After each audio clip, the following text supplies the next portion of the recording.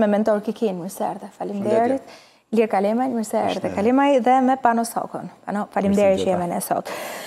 Kikia, ç'rëndësi ka vizita e Blinken në vendin tonë? Vizita e një zyrtari të këtij niveli nga Shtetet e Bashkuara, padyshim që është gjithmonë një lajm i mirë për Shqipërinë, pavarësisht se kush është në pushtet dhe kush është në opozitë, qoftë këtu, qoftë në Shtetet e Bashkuara, Kjo është dëshmi e faktit që Shqipëria konsiderohet si një partner për Shtetet e Bashkuara, por mbi të gjitha jemi ne ata që dëshmojmë mbështetjen e Shteteve të Bashkuara për Shqipërinë e cila përtej ulje-ngritjeve Të vockla është pa dyshim më e rëndësishme, gati gati mendoj në kufijtë e ekzistencializmit të, të Shqipërisë, jo për shkak të historikut të shkuar, por edhe të aktualitetit. Ka përpjekje për të bërë ca bilance ndonjëherë se kush ka dhënë më shumë para në Shqipëri, BE-ja, Gjermania, Italia, apo Shtetet e Bashkuara, Por nuk mendoj që është kjo aritmetika për të bërë vlerësimin e aleatëve apo partnerëve. Shtetet e Bashkuara kanë kontribuar në shumë drejtime dhe kështu që pa u zgjatur më shumë vizita e sekretarit është pikësëpari në nivel makro pra duke e parë në këtë vështrim absolutisht shumë e rëndësishme. Pa hyrë pastaj në këto cicmicet tona të brendshme, unë e shikoj më shumë si një vizitë në rajon, pasi Shqipëria mund të jetë zgjedhur jo vendi i preferuar, por për shkak të zhvillimeve që në rajon është zgjedhur Shqipëria për të dhënë ca mesazhe, në Maqedoni po zhvillohen zgjedhje, Serbia është vendi problematik sa i takon tashmë raporteve me Rusinë, Dhe besoj që mund të mund të jetë zgjedhur për të dhënë edhe mesazhe që lidhen me me rajonin. Aty e shikoj më shumë. Ë, uh, Kalemaj, deri tani të paktën sa dimë ne, se mund të ketë informacione të tjera, takimet që janë janë me Ramën, me kryeministrin edhe me kreun e SPAK-ut. Përtej kësaj, e solla si element, megjithatë ma sill në vëmendje, çfarë të thotë për ty kjo vizitë? Në fakt, duke iu referuar vizitave të mëparshme të sekretarëve të shtetit në Shqipëri, ato kanë qenë në kuadër ose të paralajmëruar një ndryshim rrënjësor siç ka qenë vizita e Bakerit në fillim të viteve 90, ose kanë qenë për arsye të caktuara gjeopolitike siç ka qenë vizita e John Kerryt në atë kohë për MEK-un që të janë të strehuar në iranianët e Manzës apo për afganët e kështu me radhë. Në fakt, në atë që duket në këtë vizitë, duhet thënë që është një vizitë e cila kombinon konferencën e Mynihut të përvitshme, ku marrin pjesë Kësaj radhe zëvendëspresidentja Kamala Harris drejton natyrisht delegacionin dhe sekretari Blinken, ose herë tjera ka marrë pjesë vetë presidenti i Shteteve të Bashkuara të Amerikës dhe Shqipëria. Pra Shqipëria edhe për mendimin tim ka një agendë rajonale dhe kjo agendë rajonale e Shqipërisë u reflektua dhe në takimin Shqipëri BE që u mbajt pikërisht në Tiranë edhe në takimet e procesit të Berlinit që u mbajtën pikërisht në Tiranë dhe kjo jo vetëm për shkak të rolit të qeverisë aktuale Por për shkak se Shqipëria është i vetmi vend i stabilizuar në Ballkanin Perëndimor, duhet thënë që ka fuqi malinje destabilizuese, të cilat janë duke shtrirë aktivitetin e tyre nga Serbia, në Mal të Zi, nga Maqedonia e Veriut në Bosnjë-Hercegovinë. Natyrisht Kosova s'ka se si të jetë imune ndaj këtyre kërcënimeve, duke qenë se forca paramilitare të sponsorizuara pse jo dhe nga fuqi malinje, janë duke ushtruar aktivitet aty, dhe në këtë sens Shqipëria është i vetmi vënd, një ishull të themi, i stabilitetit rajonal, për sa i përket të paktën politikës së jashtme dhe ankorimit 100% me Bashkimin Europian dhe me NATO-n pavarësisht se kush qeveri ka qënë. Thënë kjo, nuk mund të lihet jashtë agjendës edhe dinamika e SPAK-ut dhe Jo, në fakt, unë e mora shkas ngaqë ma përmendi Rusta, kolegu i cili shkoi dhe më tej dhe tha që um, edhe në SPAK pritet të ketë zhvillime për çështje të inceneratorëve e tjerë e tjerë, sepse dhe Dumani ka një vizitë me Blinken. Realisht, nuk e kisha lexuar në rresht. Është përfolur këto ditë, tani nuk e dimë, jemi në rafshin e spekulimit, apo po, po. do ketë akuza të reja nga SPAK-u ndaj eksponentëve të lartë, politikë dhe jo vetëm. Në fakt, kjo është ndër tjera, po ndoshta të si t'ju a them të imunizuar apo të mbështetur nga një vizitë kaq e lartë e sekretarit Blinken, mendoj që mund të përdoret edhe si një moment për të lëshuar pse jo dhe urdërarreste të reja, të cilat do përbënin jo vetëm lajm, por nga ana tjetër do kishim edhe një ritëm tjetër të SPAK-ut në lidhje me procedimet penale.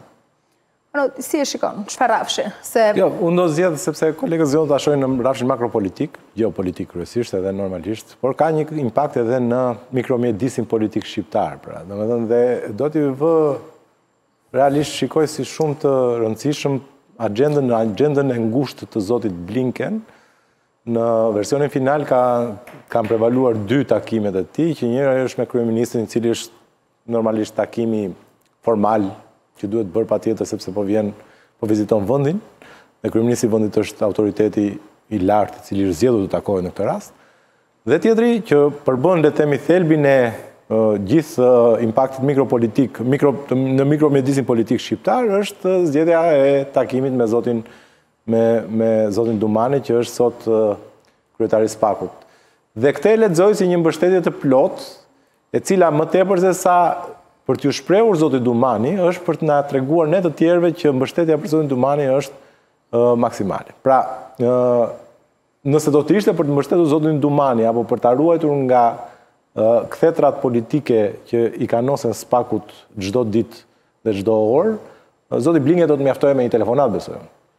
Pra, kushdo që shikohej si si një thre, si një kërcënim për pavarësinë e e SPAK-ut ose si kërcënim për për ecurinë e SPAK-ut, natyrisht që zoti Blinken mund të të mjaftojë me telefonatë. Fakti që ai vjen dhe e takon, është për të na treguar ne të gjithëve mhm. që besimi te SPAK-u duhet të jetë absolut sepse këta janë të mbështetur në mënyrë eksplicite nga Departamenti i Shtetit Amerikan. Pra, për përtej këtyre insinuimeve që mund të krijojnë në në banaqet politike të ditës ku dikush thotë e ka në dorë filani, e ka në dorë rama, e ka në dorë pushteti e tjerë e tjerë, natyrisht për të hedhur, le temi, për të vendosur aty gurin e themelit, Zoti Blinken vjen dhe takon vetëm Zotin Dumani, sepse është shumë e rëndësishme që takon vetëm Zotin Dumani, sepse thashë... Jo, do ndryshojë agjenda, mund të ndryshojë, nuk e dimë. Deri më sot, kemi të, të konfirmuar këtë, pra do shkojë të kap, do shkojë të vizitojë kampin e afganëve po, në, në po, po, Lezhë, do të takojë kryeministrin, do të takojë dhe zotin Dumani. Ai një ditë. Kaq dimë deri tani. Domethënë kaq dimë sepse nuk nuk kemi pasur. Dhe unë besoj se pra, pra. prioritare për ata është vazhdon të mbetet reforma në drejtësi. Kështu që normalisht besoj se mesazhi është i qartë që populli shqiptar ta kuptojë, sepse thashë më përpara në qoftë se do donte të njoftonte aktorët politikë, natyrisht s'kishte pse vinte fare, mund t'i merrte në telefon. Por mm. fakti që ai vjen dhe zgjedh ta takojë, është për të njoftuar gjithë ne të tjerët që shiko, këtu janë Shtetet e Bashkuara të Amerikës, dhe kushdo që pretendon të kundërtën, ndryshe e tjerë e tjerë, Është duke është duke abuzuar. Shiko, takimi me kreun e prokurorisë speciale, pa dyshim që është një risi në agjendën e një sekretari të shtetit. Po. Pasi kryeministri është në agjendë pa dyshim sepse është Shefi i ekzekutivit, Ndërsa takimi me Dumanin për mua ndodh jo thjesht për të demonstruar atë që Shtetet e Bashkuara kanë bërë me reformën në drejtësi, por për të dëshmuar vazhdimësinë e kësaj mbështetjeje në një kohë kur SPAK-u Nga opozita anatemohet si organizatë kriminale, si bandë, si hajdutë, si... Vegël e Ramës. Jo, jo, jo, ka qenë i gjithë ai fjalor i shkarkuar domethënë nga rrugica. Po mirë ajo që... Kërësori. Ndërkohë, ka dhe një përpjekje nga mazhoranca për të ngritur një instrument politik në parlament, i cili do ta kontrollojë SPAK-un... Kjo, unë besoj se kjo është halli që ka Dumani, nuk e ka hall opozitën. Në, në vijim të, të punës për të monitoruar përmbushjen e kritereve në kuadër të hapjes së negociatave, pra kshu është justifikuar zyrtarisht, por që ne e dimë që nëse politika fut duart, e dimë fare mirë se çfarë produkti del. Në këtë kuadër mendoj që vizita apo shkuarja e sekretarit të shtetit në zyrat e SPAK-ut dëshmon masivisht edhe një herë suportin që ata i japin kësaj strukture, duke lënë të gjitha mënjanë hamendësimet apo dhe përpjekjet politike që janë bërë këtu, jo pa po e ngritëm ne se po të mos donim ne s'e bënin ata, apo akuzat që ambasada amerikane ka agjenda personale dhe kjo nuk përputhet me politikën qëndrore në Washington. Kjo i sheshon të gjitha këto dhe thotë, kjo strukturë është e jona në, po, në po. aspektin e, e, e mbështetjes dhe mendoj që mesazhi është i qartë që askush s'do duhet të tentojë për të për të vënë shkopin në rrota apo për të shpuar gomat. Ëëm, ka një element aty që lidhet me Yuri Kim. si pozicion, por edhe si kontribut që ka dhënë në fakt në Shqipëri dhe mënyra se si është anatemuar, ose se si është uh, uh, përmendur emri i saj nga politika, çfarë do të thotë kjo? Po natyrisht Juri Kim uh, rivjen në Shqipëri tashmë si të themi si shefe e ambasadorëve të Europës, amerikanë në Europë, ka një histori të gjatë me sekretarin Blinken, se ka qenë dikur shefe e tij e kabinetit, njeriu i tij më i besuar, Efektivisht është në shkallë hierarkike, të paktën për rajonin tonë, për Europën, në përgjithësi numri 3 në Departamentin e Shtetit. Kështu që në këtë sens, ajo e njeh mjaft mirë situatën politike të aktorëve kryesorë politikë në Shqipëri, e ka fort të qartë retorikën që ata përdorin, ka fort të qartë atë që ata lënë pa thënë, edhe unë mendoj si Mentori që kërcënimi kryesor që i vjen SPAK-ut nuk i vjen nga retorika e disa eksponentëve të opozitës sesa i vjen nga dëshira për të kontrolluar dhe për t'i vënë në një farë mënyrë shkopinj në rrota punës së tyre për të parandaluar rënien e peshqve të tjerë të mëdhenj, të cilët në një farë mënyrë do ta gërryenin legjitimitetin e kësaj qeverie, e kësaj qeverie të cila e cila ka disa ish-eksponentë të lartë të saj, zëvendëskryeministër, ministra, deputetë, kryetarë bashkie, janë nja gjashtë copë dhe të tjerë që priten të bien në rrjetën e SPAK-ut, shumë shpejt. Pra në qoftë se në kampin përballë, ne kemi kreun e opozitës, i cili ka marrë një nga non gratat, dhe natyrisht është në një procedim i cili nuk dimë se si do shkojë deri në fund. Nga ana e mazhorancës, ne kemi jo vetëm procedime penale, po ne kemi dënime edhe të formës së prerë, për ish-eksponentë të lartë, bashkëpunëtorë të ngushtë, nga më të ngushtët madje, të zotit Rama, përmend këtu zotin Tahiri, apo zotin Ahmetaj, e të tjerë me radhë. Kështu që në këtë sens, ata i druhen një lloj, një lloj kërbaçi i maskuar me karotë nga zoti Rama, i maskuar me karotë sepse një pjesë të eksponentëve të drejtësisë ai po mundet t'i shpërblejë me paga të larta, flasim te Gjykata Kushtetuese, ndërkohë që një pjesë tjetër ai i ka shigjetuar deri diku, duke përdorur jo një gjuhë aq acide sa ç'ka përdorur Zoti Berisha, por gjithsesi ka qenë një gjuhë paralajmëruse e cila synon ta vërë nën kontroll këtë këtë strukturë plotësisht ndoshta nuk se dhe kjo është nuk është një strukturë që është vetëm Zoti Dumani aty.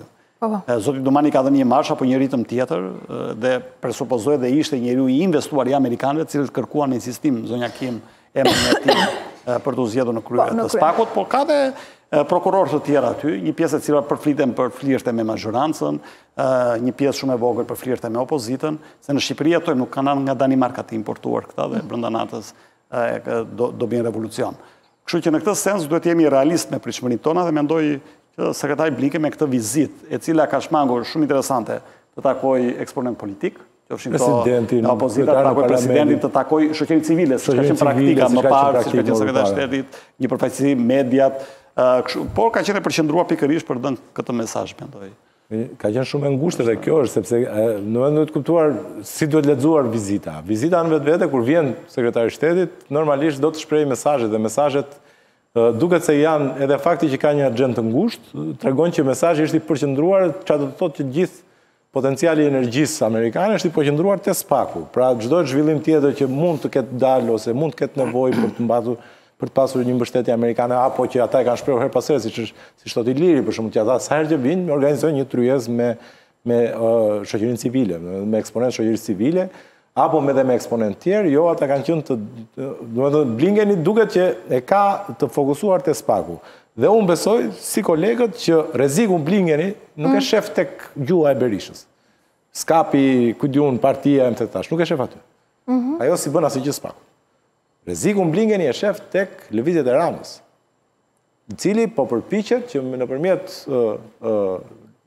forcës së pushtetit dhe forcës së kartonave të parlamentit, të fillojë dhe të latojë pak rrugën e SPAK-ut. Pra të fillojë të japi ca drejtime pak më ndryshe rrugës së SPAK-ut nga ç'është nisur. Dhe besoj se edhe Zoti Rama këtë interes kaq të madh për të futur, për të ndërhyrë tek punët e SPAK-ut, nuk e ka sepse aty po janë kapur ca eksponentë, ca bashkëpunëtorë të tij e tjera, por duket me sa duket steka e goditjes së SPAK-ut do të jetë shumë lart, pra planifikohet që të jetë shumë lart dhe për këtë arsye ai përpiqet që të marri masa paraprake për të për të parandaluar ndonjë pra, katastrofë politike. Për të ndërtuar argjinatura. Po, bravo, për ndërtuar diga dhe për të parandaluar ndonjë katastrofë politike. Se Rama reagoi dhe reagoi gjatë, ku tha që një Shqipëri që mbetet plotësisht e angazhuar në partneritetin strategjik me SHBA-n, me NATO-n, e shikon pak a shumë edhe tek çështjet e rajonit që ne... Shiko, vizita e Blinkenit nuk është një vizitë kryesisht shqiptare.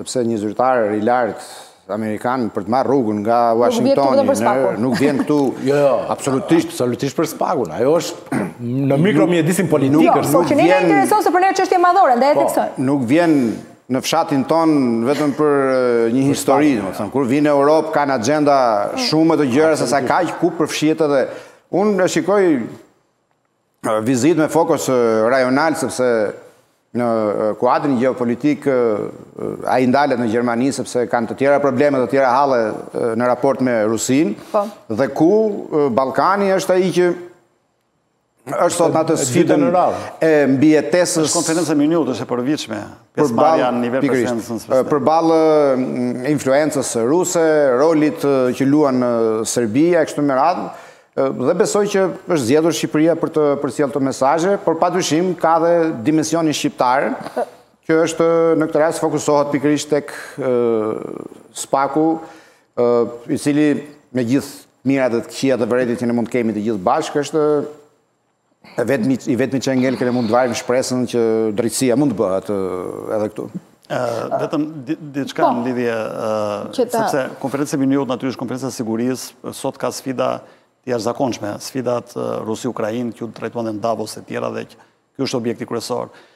Por në lidhje me Shqipërinë, sapo ka përfunduar Edhe periudha, domethënë dyvjeçare që Shqipëria ishte anëtare e Këshillit të Sigurimit si vend jo permanent, bashkëpenëmbajtës, i cili është një term që unë me kuriozitet po e gjej që po përdoret shpesh tani dhe rëndom edhe nga partnerët, në fakt, pavarësisht se Zoti Rama me nëbajtës. Si bashkëpenëmbajtës i Komisionit të Reformës Zgjedhore, pak a shumë. Pikërisht, po, po, kjo në njëfarë mënyre, për shkak se Shqipëria ka vepruar në sinkron me Shtetet e Bashkuara të Amerikës, 100% të rasteve dhe aty ka pasur një rol, një ndër specifikat që duhet thënë që është një proces që ka nisur që në 2008-ën, pra procesi që kulminoi me pjesëmarrjen e Shqipërisë si një nga vendet jo permanente në Këshillin e Sigurimit. Fakti që kemi zhvilluar dy stërvitje të Defender, të cilat gjithashtu janë me shumë rëndësi përsa i përket NATO-s dhe pjesës së Mesdheut Lindor, kështu që në këtë sens mendoj që këto janë në lidhje me Shqipërinë, natyrisht i qëndroj asaj që thashë pak më parë që është një agjendë rajonale dhe duhet mesazhet që do jepen nga Tirana i kumbojnë edhe Beogradit, edhe Podgoricës, edhe Sarajevës, edhe Shkupit, nuk janë posaçërisht një vizitë Për Tiranën, për Tiranën është Dumani, ky është lajmi, SPAK-u. Pastaj nga Dumani shkojmë dhe tek zgjedhjet e 25-s nëpërmjet Dumanit. Se se se qeveria mund ta kumtojë këtë edhe si një Se ne jemi mësuar që Amerika dikton edhe politikën. Jo, po. kjo kjo është e rëndësishme se kam parë disa nga pro qeveritare, të themi, dhe media edhe kumte që kanë dalë andej që është edhe në një farë mënyre një shfajësim i zotit Rama për çështjen McGonigal e cila pritet të trajtohet në mars në lidhje me çështjen e Shqipërisë. Ky nuk është asnjë lloj shfajësimi, të gjithë që njohin se si operon Shtetet e Bashkuara të Amerikës, në kushdo vend tjetër me parametra demokratike e dinë fort mirë që Departamenti i Drejtësisë ka rrugën e vet, prokurori i përgjithshëm atje ka rrugën e vet, sekretari i shtetit ka rrugën e tij, nuk është se marrin njëri-tjetrin në telefon dhe komunikojnë se diktojnë agjendën. Po. Diktojnë agjendën. Pra, e thënë që ne mund të... Pra, nuk është një shfajësim për zotin Rama kjo? Po, pra, që po, po i dilni para, prit tani edhe... Se u tha dhe kur shkoi në New York, në mbledhjen e Asamblesë. Se si mund të interpretohet? Nuk u arrestua në aeroport zoti Rama. As Fidel Castro, edhe Chavez nuk janë arrestuar në... Ajo ka ekstra juridiksion. Po, i jep një leksion politikës po, që bëni kujdes me artikulimet apo mënyrën e interpretimit. Që ka kuptojnë? Se gjithmonë kontaktet, takimet, pavarësisht se për çfarë arsye, dhe ku janë bërë nga politika shqiptare janë përdorur për një lloj makijazhi ndaj edhe ai lobimi i famshëm që është i vetmi vend ku politikanët lobonin jo për të përmirësuar imazhin e vendit të tyre, por për të përmirësuar imazhin e tyre personal Në raport me politikën e Shteteve të Bashkuara, ku Një zilutje. shko bëj një foto atje dhe hajde shite në Shqipëri si i preferuar i Amerikës ë, dhe vazhdon të jetë kjo reminishencë e e përdorimit të fotos. Që do të thotë, ne nuk presim që të ketë ndonjë mesazh i cili mund të lidhet pra me ë, Jo, politikën, s'bëj. ose një mbështetje për E kanë dhënë grupe mesazhin, mesazhi i të tyre është në caktuar. SPAK.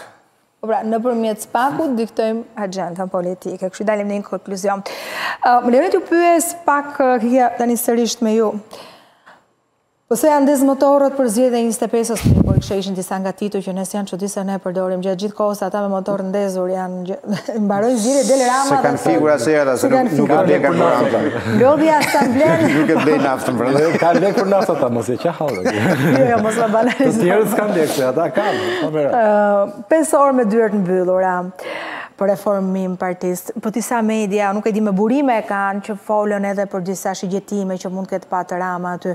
Si e pe Kikia si një proces të brendshëm pa produkt, me tendencë për të nxjerrë një produkt, apo hermetizëm dhe ne s'kuptuam asgjë dhe vrapuam që të kuptojmë? Mendoj që mund të jemi çikë kritik ndaj të gjithë neve së bashku, që jemi të prirur dhe të qëndrojmë pas derës për të bërë lajm edhe kur një parti bën një mbledhje për llogari të punëve të veta. I rrimë pas derës me historira KPD-rash, kryesirash, nga PS-ja, nga PD-ja, ky i tha, ai i tha, ky e kritikoi, kush e kundërshtoi, kush prodhoi debat. Pyetja është çfarë interesi publik ka kjo histori që atje ata të PS-së u mblodhën bashkë, ca i lavdëroi, ca i kritikoi, ca u bërtiti, ca ironizoi.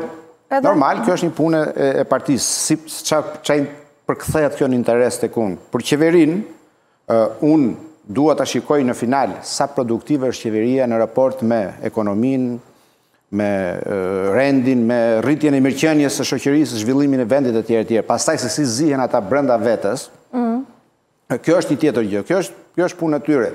Unë nuk besoj që ka vend tjetër ku çdo mbledhje partie bëhet objekt lajmesh. U mblodh kjo partia, diskutoi, u shkarkua kryetari i partisë i Lushnjës dhe u vendos një kryetar tjetër. Po mirë, mos është ngritur ky interes lidhur me faktin se Rama është aq i fuqishëm sa që PD-ja s'ka ç'i bën. E kemi parë deri tani. Të vetët asnjë nuk flet, të dali dhe të dali kundër, duket sikur s'ka frymë, ka akuza shumë të forta që ai vetëm forcohet, kemi, ndoshta mos na vjen nga kjo ky gabimi, leximi, ose interesi për... Partia Socialiste sot është një parti tërësisht e konsoliduar, me struktura nga maja deri tek dega e partisë për lagjen X dhe fshatin Y, Nuk i ka fikur asnjëherë motorët për t'iu metaforës që thamë në fillim, partia socialiste parti që është gjatë gjithë kohës në fushatë. Hmm? Partia Demokratike ka qenë e dyta parti me këtë lloj organizimi kapilar, por që është shuar dhe është gati gati një parti elektorale që thjesht riaktivizohet kur fillon fushata zgjedhore. Aty në atë parti pa dyshim që ka disiplinë. Aty në parti pa dyshim që ka luftë brylash, ka klane, ka por kur partia është në pushtet, këto nuk shfaqen. Nuk shfaqen sepse pushteti është i mirë për të gjithë. Unë besoj që askush nuk mendon që një ministër kur Rama e heq kështu me një SMS është i lumtur. Por, por thjesht nuk reagon, nuk bërtet, nuk del aty te dera ta shajë të kritikojë, sepse thjesht rri e bori se të thesë kismet. Do të dalë një gjë tjetër nesër dhe kjo ka krijuar një kompaktësi në atë parti, se si ia ka siguruar Rama, ndash me hu, e ndash me karrot, kjo është tjetër gjë, po njëfarë mënyre për ta mbajtur të bashkuar, të shtrënguar dhe unike atë parti, është një lloj merite e tij gjithsesi.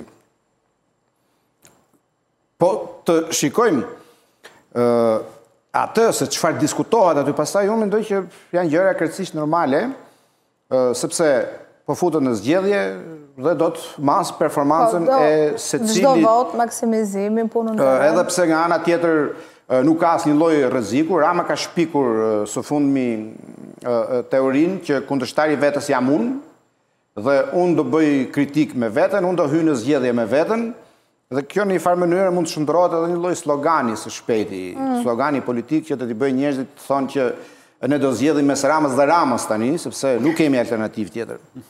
Kjo, para disa vitesh ah. në një intervistë po. uh, Zotit Rama, ai iu referua për serialin e tij politik të pëlqyer, serialit Borgen, është një serial danez, politik me një kryeministre daneze. Për ata që e kanë parë atë serial, e kuptojnë fort mirë, nuk, nuk arrijnë të kuptojnë se çfarë ka pëlqyer Rama, apo çfarë ka të përbashkët Rama me atë model. Se ai është model, jo vetëm i vendeve nordike, po kryesisht i demokracive të konsoliduara. Nja dy detaje të vogla, e para aty nga sekretari i përgjithshëm e poshtë asnjëri nuk ndërron vendin e punës. Pra i njëjti sekretar i përgjithshëm në Danimarkë mund të rrijë 30 vjet në detyrë. Sepse normalisht, kjo është administrata. Ky është ai depolitizimi i administratës publike për zgjedhjet. Ky është modeli, domethënë për çdo gjë. Tani shkojmë te qeverisja Rama, që ka çuar në 200.000 vetë administratën publike, nga të cilët në mos gjysma një pjesë e mirë e tyre janë patronazhistë të cilët paguhen me para publike për të bërë rolin, e kishin dhe te skema e fundit që nxori nga asambleja, po. patronazhistët ishin hallka kyçe në zgjedhje. Patronazhist në Shqipëri do të thotë që unë ty përdor çdo lloj forme, kërbaç, karrot, shantazh, çdo gjë për të të bërë ty të votosh për siglën e Partisë Socialiste. Kaq e thjeshtë është, mos, mos t'i japim atë emrin, uh, ap, dhe, dhe, dhe në origjinat e saj nga ka dalë nga Shtetet e Bashkuara të Amerikës apo nga Franca, ky ka qenë patronazhisti.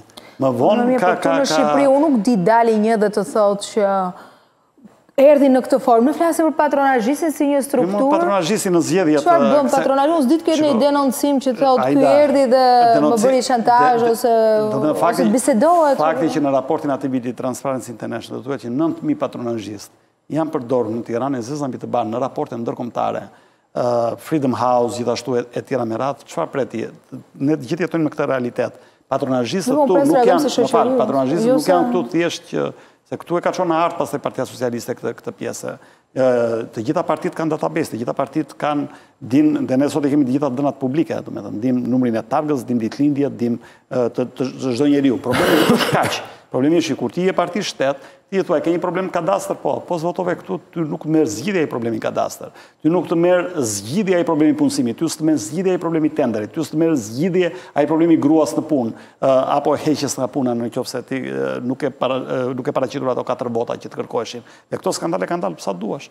Ata e çuan dhe një shkallë tjetër, e çuan te aktivisti, pra patronazhisti 2.0, domethënë, dhe këtu prapë nuk pati ndonjë debat, pati një debat të atypëratyshëm, ndërkohë që Partia Socialiste vazhdon me këtë makineri. Dhe, dhe, dhe kjo është gjëja më shqetësuese që kjo parti shtet ka konsoliduar këtë elektorat prej 800.000 votuesish, dhe nga ana tjetër, gjithë ky fluks demografik që është duke dalë nga Shqipëria, sipas INSTAT-it, po po i themi Eurostatit këtu, janë rreth 50.000 shqiptarë që lënë Shqipërinë çdo vit, mendoj që janë ata që janë të pakënaqur ndaj qeverisë, pra janë të palës së opozitës.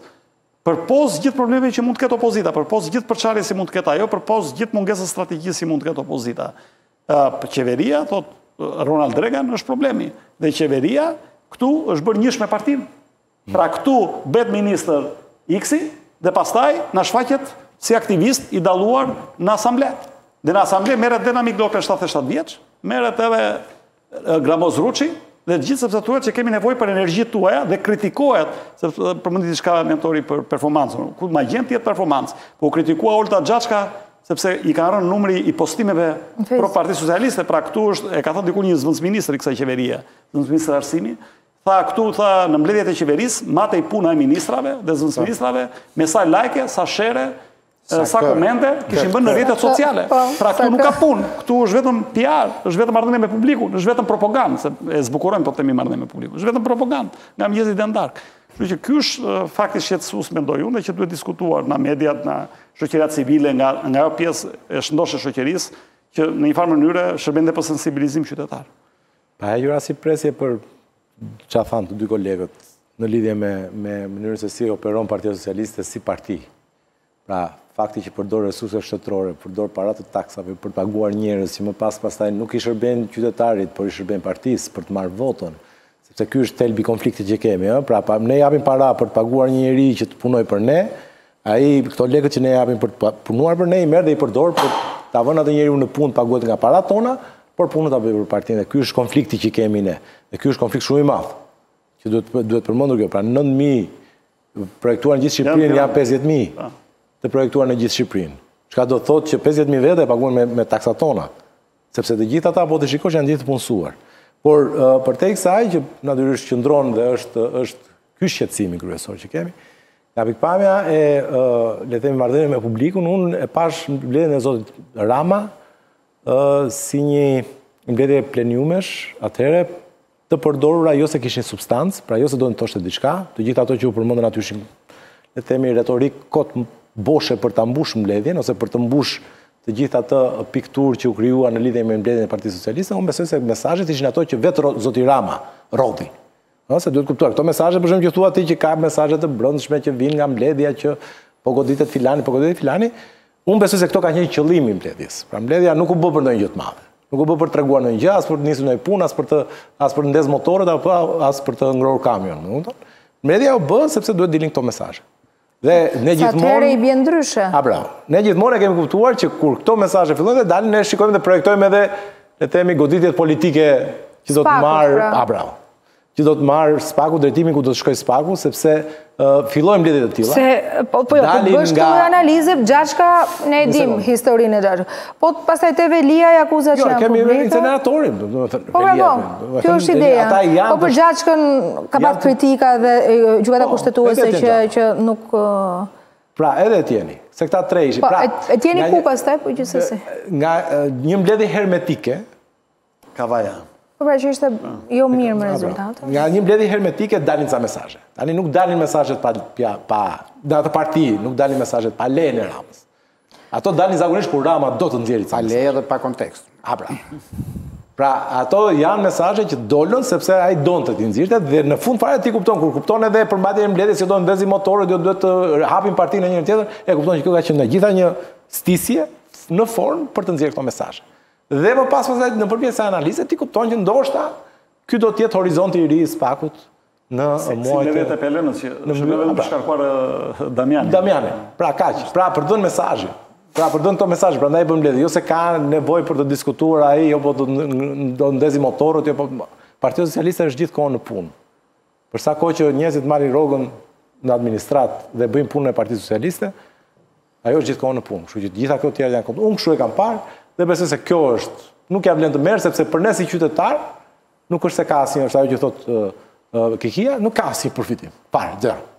Nuk është se po flitet për ne, ai po bën atë lojën e vet politike aty brenda. Kaq, thjesht është marrëdhënia e Ramës me Veliajn që mund të japë një mesazh dhe pastaj të veprojnë në strukturë. Pse është e komplikuar? Se çfarë është, do të thotë kush e ka menduar, shiko, ne kemi ndërtuar një mit që është Erion Veliaj, jo. Përpara Ramës janë gjithë morra. Si janë? Morra. Morra. Okej. Morra. Pra, është ai? S'e kuptova. Mhm. Pleshta. Jo, dakor, dakor. Kafshë më fisnike. Pra, është ai dhe të gjithë tjerët janë janë ashtu. Natyrisht ne që qëndrojmë poshtë, u japim u japim ndoshta pesha politike që vërtet nuk i kanë, por Shqipëria është autokraci. është monokraci dhe krati i vetëm në Shqipërinë monokratike është vetëm Edi Rama. Gjithë tjerët janë poshtë. Dhe ai mund, siç bëri me Ben Ahmetajn dhe Ben Ahmetaj, kështu i jepim ne, dhe Vangjush Dakon, kështu e quanim ne, të po, paprekshëm, po. pa nuk i hynte gjemb në këmbë, edhe Ben Ahmetaj po ashtu jo. Aty, do të them, pushtet krati në këtë autokracinë tonë është vetëm Rama. Kështu që gjithë të tjerët janë të gjithë në radhë. publiku nëpërmjet edhe manipulimit që bëjnë një pjesë e mediave të paguara nga lekët e pushtetit etj etj, ka krijuar këto imazhe të këtyre miteve që kemi ne, jo po ky është shumë i fortë, po ky tjetri jo.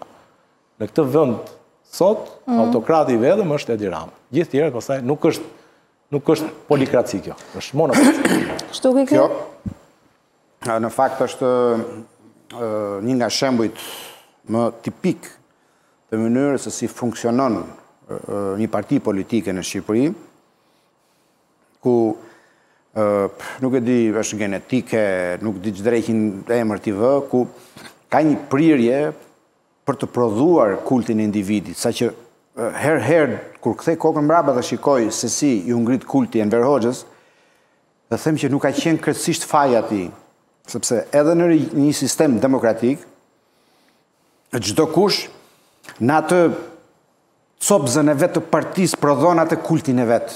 Edhe njëri që ka 6 muaj që ka krijuar një parti, del te kjo përditë, thotë unë, unë, unë. Dhe ca të tjerë që janë pas tij ose duhet t'i rrinë afër që ta mbajnë mirë me të ose duhet të largohen. Ë Rama është modeli më tipik i kësaj historie. Por, kështu ka funksionuar gjithë politika. Përjashto një periudhë të Partisë Socialiste kur e drejtonte Fatos Nano, i cili kishte natyrën me sa duket, jo se kishte në ide për të prodhuar demokraci, po kishte natyrën të tillë. Kishte, krijonte pole. Njerëzit ndaheshin në grupe, ziheshin, kishte diversifikim idesh. Partitë funksionojnë struktura në mënyrë absolute me një disiplinë të hekurt ku ai që ka pushtetin politik, ai vendos për gjithçka. Dhe fakti që sot kemi një parti demokratike, ajo që ende ka mbetur nga partia demokratike, ku një tufë njerëzish ngrenë sytë nga ballkoni dhe shikojnë mesinë që po vjen nga qielli, t'i shpëtojë, kupton që Nëse ai do dalë të thotë tani Unë ika. Ska dhe ajfa i rabë. Gjeni kryetarin tani. Nuk do ta gjejnë kryetarin sepse askush nuk është rritur politikisht, në askush nuk ka krijuar profilin e tij politik, identitetin e tij politik që njerëzit të thonë po more, po, ky është njeriu që mund të trashëgojë apo mund të suportohet për të qenë kryetar. Sepse në partitë tona asnjëherë s'ka funksionu vota. Do zgjidhen të bëhen zgjedhjet për drejtuesit e qarqeve, degëve, kryetarë rrethesh. Kush i voton? Askush. Shpërndan kryetari një listë, ti do jesh në Lushnje, ti në Fier, unë në Elbasan, ti në Korçë, mbaru zgjedhjet. Parë në këtë këndvështrim, këta njerëzit që emërohen në këtë mënyrë, çfarë do bëjnë? Do jenë lepepeqe. Dhe, në kushtet kur mungon kjo lloj demokracie dhe ku edhe përpjekjet më minimaliste për të bërë ca një anëtar një votë kanë përfunduar në komedi, sepse do bësh një anëtar një votë, po ju do votoni ata që do thotë kryetari, vijmë pikërisht te këto situata. Dhe kjo e keqja e këtyre partive që s'po i quaj diktatoriale, por absolutisht autoritariste, këto prodhojnë edhe pushtet autoritarist. Pse nuk, nuk mund të kemi ne një parti që drejtohet me frymë autoritare, të prodhojë një pushtet demokratik nesër, që të respektojë gjykatën kushtetuse, të respektojë SPAK-un, parlamentin, median, institucionet e pavarura, sipas piramidës që krijon kushtetuta, Jo, sepse ai është mësuar të thotë ti dil përjashta, ti hy brenda, ti emërohesh, ti shkarkohesh, mbaroi historia, për 5 minuta ribëhet qeveria. Dhe ky nuk pranon që nesër një grup deputetësh t'i thonë hajde këtu jep llogari tashi sepse parlamenti është mbi qeverinë. S'e percepton dot.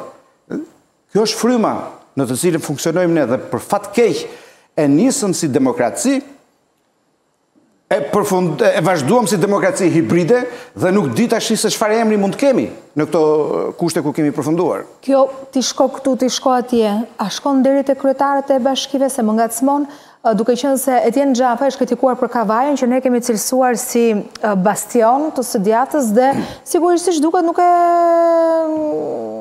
nuk e nuk nuk e pranon pra Rama ka menduar që edhe mund ta marrë. A kemi të bëjmë këtu ndoshta me faktin që këta çojnë kandidatë dhe nuk pyesin strukturat? A është ky fenomen që këta kryetarët e qarqeve Pra... Shiko, unë e quaj tërësisht normale që kryetari i partisë t'i kërkojë llogari atij zotërisë që e ka ngarkuar të punojë në një, po, zonë, nuk ka punuar, sepse puna e dobët apo puna e mirë, matet në fund vetëm me vota, kush fiton, kush po. nuk fiton.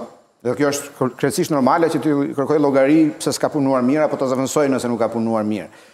Ndërsa përzgjedhja e kandidatëve për kandidat, qoftë për kryetar bashkie, qoftë për deputet, është ajo që përbën edhe problemin më të madh sot edhe në ligjin zgjedhor, meqë është në proces për të mos përfunduar kurrë, nëse listat do të jenë plotësisht të hapura, do të jenë gjysmë të hapura me atë vizën ke numri 10 dhe sa është kontributi i qytetarëve në këtë rast, sepse përgjithësisht kryetarët e bashkive Duhet të jenë njerëz që kanë lidhje me komunitetin, që vijnë prej aty, që njohin zonat dhe nuk ka nevojë për shoqërues për t'i treguar lagjet se deri ku shtrihet qyteti.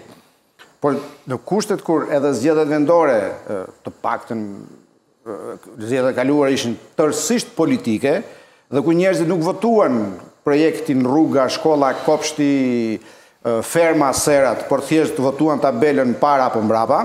Mm. që u bë simboli i fushatës, edhe kjo ka prodhuar sërish regres dhe vota nuk përqendrohet më tek projektet ekonomike, tek alternativat edhe politike, padyshim edhe ekonomike, por janë dy njerëz. Hm? E gjithë i gjithë pushteti, gjithçka tjetër që ka të bëjë me zgjedhjet, do kesh përpara vetëm dy fytyra, do zgjedhësh Ramën apo Berishën apo Ramën apo Bashën. Kjo bën që njerëzit të tkurren gjithnjë e më shumë në dëshirën e tyre për të qenë pjesë e vendimmarrjes përmes votës. Dhe zgjedhjet vendore të fundit ishin traumatike në këtë drejtim, me bojkotin, me mospjesëmarrjen e të rinjve që votonin për herë të parë, që nga njëqind e njëzet e ca mijë të rinj, vetëm katërmbëdhjetë për qind morën pjesë në zgjedhje. Arne, kalojmë, po shkojmë drejt këtij modeli, sërish duhet të mendojmë që se 25-a nuk është larg, është ta? Shiko, autoritarizëm konkurrues është ky tani, ndoshta termi më i mirë që përcakton, dhe ajo Rama kundër Ramës është që Rama po përpiqet të krijojë fraksione nominale, në mënyrë që të jetë ai përsëri i cili ofron të vetmet alternativa. Për mua shumë shqetësuese që nga 61 bashki, që ishin përveç 54 bashkive që fitoj, Po mban Himarën, ai Fushë-Arrëzi dhe Memaliaj, i kanë thënë Ramës, hajdeni na shih dhe ne, kamp refugjatësh dhe në atë shkretve, dhe nja dy që i kanë ngelur Kavaja dhe Mirdita, dhe Mirdita, tani ka Mirditë, nxori Ulsi Manjën e paprecedent që ministër i drejtësisë dali dhe të kërcënoi me prerje të fondeve. E kisha një intervistë kryetarin e bashkisë, e di si tha, 100 persona tha kemi që janë me kontrata të partisë socialiste, verifikoj që nuk kanë ardhur një ditë në punë. S'kanë vajtur asnjë ditë në punë, a i kërë kondogarit. 100 tha, e ka thënë këtu. Më herët sot. Ulsi Manja thotë pse kërkon ti llogari patronazhistit tim që ai vjen në mbledhje publike të Partisë Socialiste, ai duhet të rrijë në punë, të marri rrogën pa shkuar asnjë ditë dhe për këtë arsye se ti ke guxuar t'i tërheqësh vërejtjen atij punonjësit tim, pra patronazhistit tim, unë do t'i pres fondet ty si bashki dhe nuk ka asnjë reagim për këtë gjë. Kurse në rastin e Kavajës mendoj që përpos faktit që Mendoj që është dhe zgjedhje e kandidatit atje, ndoshta i dërguari politik ishte, prandaj u tërhoqi dhe veshin Etjen Xhafajt në mbledhje, që ishte një nga sekretarët e mbijetuar nga mbledhja e fundit që bënë në Tepelenë. Siç duket, performanca e dobët, mosnjohja e realitetit të zonës e tjera, ka bërë që të paralajmërohet një lloj shkarkimi. Por, problemi është pikërisht te modeli Rama që do të kaparojë çdo lloj institucioni, çdo lloj bashkie. Ai nuk fal edhe Domethënë, ky është model i paprecedent për Shqipërinë, edhe Berisha i parë, dhe zgjedhjet famëkeqe të 1996-ës, që ishin 122 deputetë, domethënë, me sa di të paktën në forma anekdotike që ka qarkulluar në atë kohë, u ka thënë, po unë ju thashë dhe unë, po jo... Jo kaq shumë. Jo kaq shumë, se ka 122 me 120. Kurse Rama s'po tregon asnjë lloj limiti, asnjë lloj limiti për të kapur çdo lloj... Zero. Shiko, që Rama është i tillë siç thotë, Iliri, është shumë e vërtetë kjo gjëja, por unë besoj se Duke bërë pak analizën në këtë pikë, nuk besoj se do ishte kujtuar tani për rezultatin e dobët të Kavajës sot. Sepse sapo ka bërë, e, ka, e bën mbledhjen e analizës. Po, këta e kanë bërë dhe me analizën, po. Etjenin e çoi, e, domethënë, e rikonfirmoi, ashtu siç the ti, një ndër të paktët që u rikonfirmuan në detyrën e tij sekretar sekretar për dixhitalizimin, ç'e ka dhe. Po, sekretariatet që kanë. Po, një ndër sekretariatet, kështu që kjo dalje tani e kësaj, të hallit të Kavajës, më kupton, duket si e nxjerrë nga xhepi i pasmë, më kupton, ti e ke nxjerrë, e ke mbajt aty te xhepi i pasmë, tani e nxjerr përsëri. Kështu që unë besoj se të gjitha këto, plus faktit që çdo mesazh që del në mënyrë jo publike, Jo të verifikueshme, duket që është mesazh i punuar, më kupton? Po, sepse gjithë debati që doli nga Rama në fund dhjetorit ishte që po projekton pasardhës apo jo dhe në një farë mënyre dukej që i dha Veliajt dhe unë jam nga ata që gjithmonë i kam qëndruar bindjes që bashkëpunëtorët e tij më të rëndësishëm i shpërbleu, jo ia mori për ta dobësuar, se s'ka nevojë Rama të japi mesazhe kaq të koduara për të dobësuar Veliaj. Ah, pra ai mori Maznikun dhe kryetarin e GNTH-s, atë po. që bëri ministër financash. Po, po. Ah, që tani pra dy personat më të besueshëm të tij, ai i gradoi dhe i futi në qeveri, duke u dhënë përveç zëvendësministrave, të cilët janë njerëz dhe këshilla bashkiake etj me radhë. Të vetmen që nuk i dha Erion Veliajt ishte kreun e grupit parlamentar, sepse përflitej deri minutën e fundit që do ishte Toni Gogu dhe ai do mhm. ishte konfirmim, legjitimim i plotë i Veliajt ndaj grupit kundërshtar në parti, që ai do ishte pasardhësi. Por duke vendosur sekretar të përgjithshëm Blendi Klosin dhe kryetar grupi Bledi Çuçin, ai tha, stop, dal bek se ka hendek, pra është Rama dhe tani, ndoshta me në vizitë dhe tjera... Unë besoj se heqja e këtyre të dyve nga bashkia Tiranë ka qenë më tepër për faktin që duke pritur që bashkia do të jetë në qendër të bataresë së sulmit të drejtësisë, të paktën për vitin 2024, është një ndër Një ndër targetet kryesorë të sulmit të drejtësisë, domethënë bataretë e gjithë prokurorëve, pjesë mirë të prokurorëve të SPAK-ut do të shkojnë jo vetëm për inceneratorë, por edhe për disa afera të tjera. Një pjesë e mirë e bataresë do të bien aty.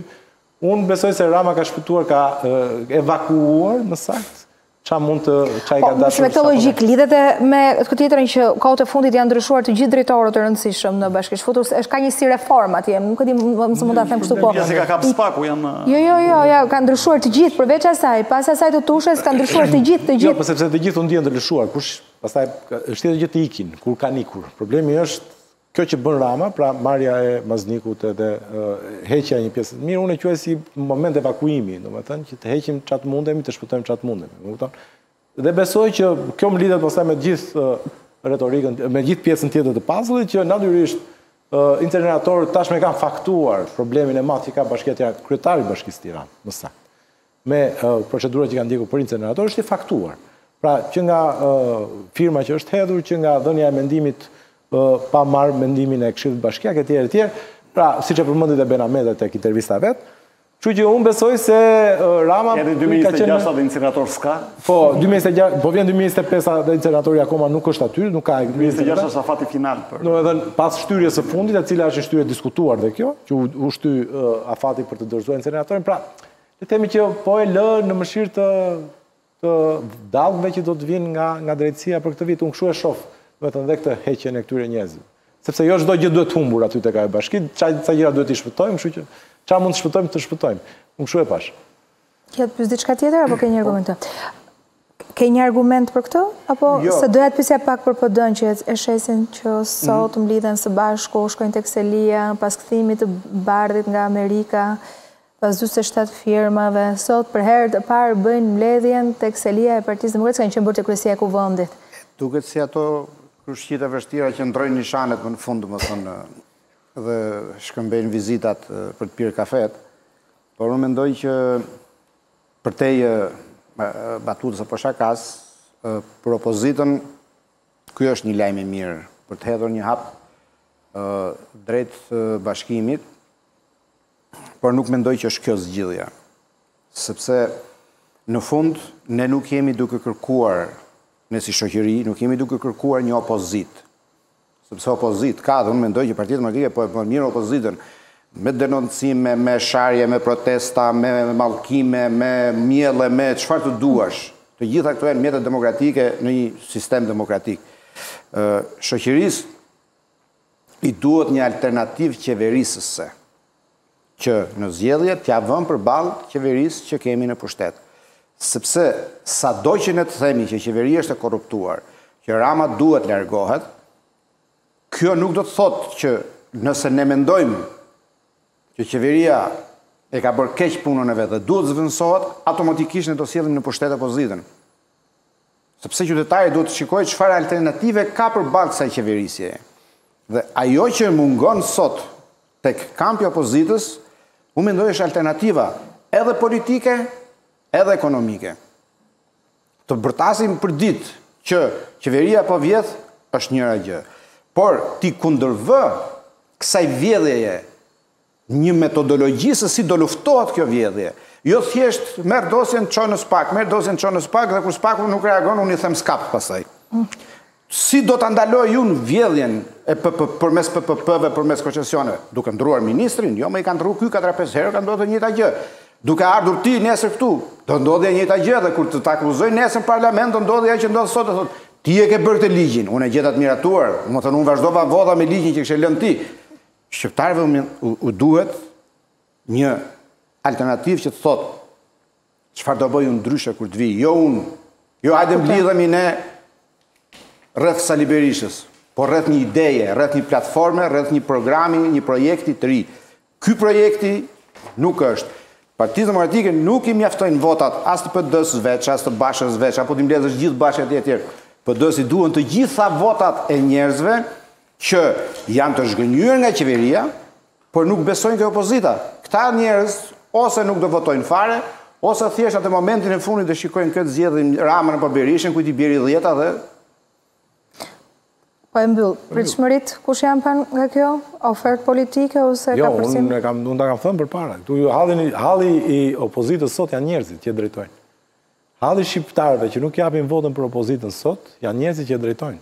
Sepse çdo mesazh, çdo program, çdo projekt ka mbart një firmë dhe një vulë. Dhe nëse ata që e firmosin dhe vulosin nuk janë të besueshëm, as projekti nuk është i Mund të jetë shumë i mirë, mund të jetë perfekt, po s'është i besueshëm ai që ka firmosur e vulos projektin. Qytetarët duhet të besojnë. Edhe nëse mundesh. Po, një fjalë, do të thënë, problemi nuk është se është e fragmentarizuar. Fragmentarizuar ishte në Poloni së fundi e fragmentarizuar ishte Mal të Zi e në shumë vende të tjera dhe ka arritur të fitojë. Problemi është pikërisht mungesa e një bile përkundrazi mund të rritëshin aksionet se secili mund të merrte te ngastra e vet dhe të rriste aksionet opozitare.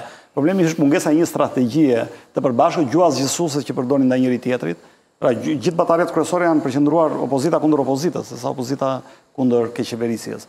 Kjo mendoj që është disfatiste për mua. Falemderit që ishit me mua sot.